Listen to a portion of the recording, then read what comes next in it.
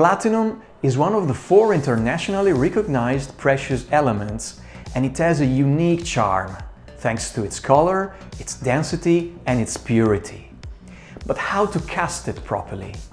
How much does a platinum 950 or 900 casting differ from a gold or silver casting?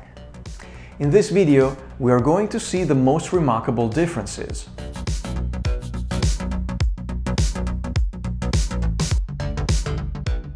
Pure platinum has a melting point of 1768 Celsius degrees. With such high temperatures at play, the alloy remains liquid for very short time, as heat dissipation and solidification are very quick.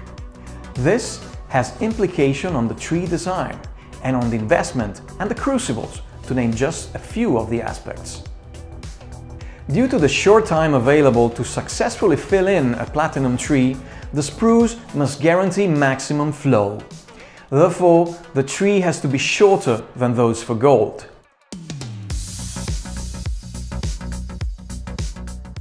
The inner side of the flask has to be covered with a sleeve that allows further water to be drained.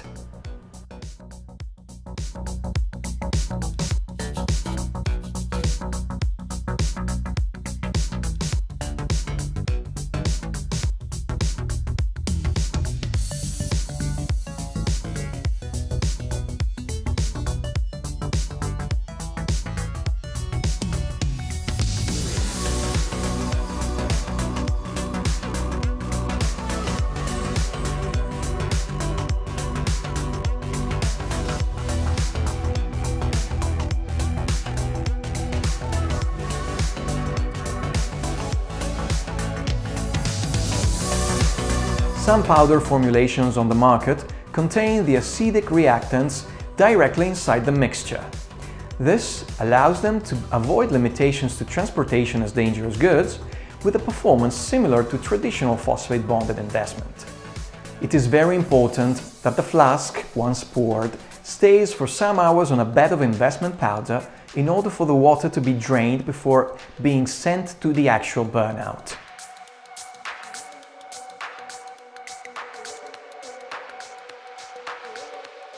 Also available is a water-based phosphate-bonded investment. Here, preparation of the investment is simpler because it just needs to be added with water and doesn't need to be drained for a long time. The reaction enabling the mechanical strength starts at room temperature. It is compatible with platinum casting, although it is slightly less resistant from the thermal point of view and may result in lower surface quality with high temperature platinum alloys.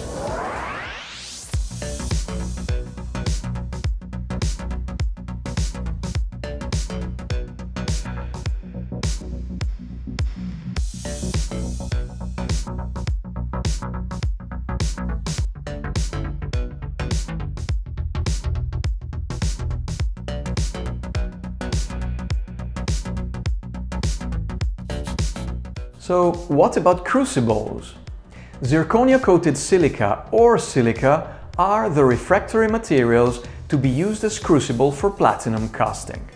It is important to use crucibles in good conditions, without cracks or breakages. During the casting phase, the metal should stay in contact with the crucible for the shortest time possible.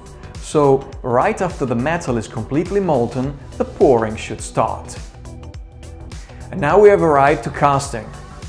Rather than just reading the reaching of a correct casting temperature through the probe, as we do in gold or silver, a well-working rule of thumb for platinum is to wait for the metal to be just completely molten and mixed, then count to 6 to 10 seconds depending on the amount of material being molten and just pour it.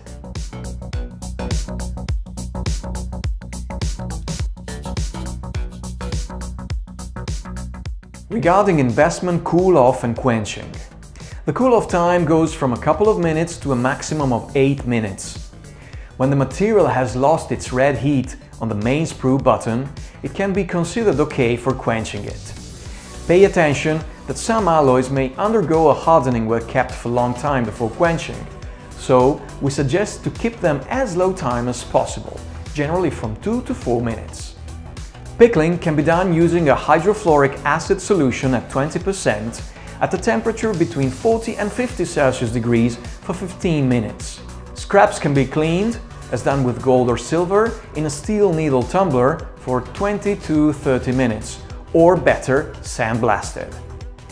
What about reusing scraps? Well, from our experience, platinum 950 alloys that are correctly cleaned and without any dirt may be reused in a ratio of 50-50 fresh to scrap for a maximum of three times. Thank you for watching this video and stay tuned for more hints on how to make your processing of precious metals easier.